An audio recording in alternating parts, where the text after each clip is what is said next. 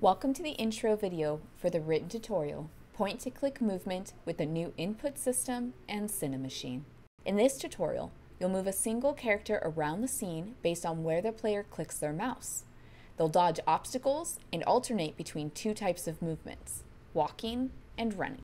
A Cinemachine virtual camera will be used to automatically keep the player in focus while they move around the level.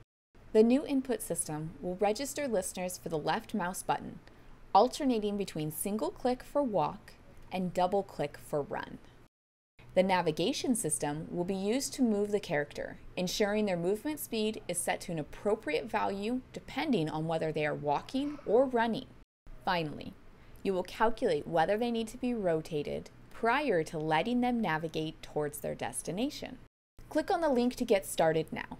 Make sure to check out the other tutorials on the site which cover topics such as addressables, UI Toolkit, and more.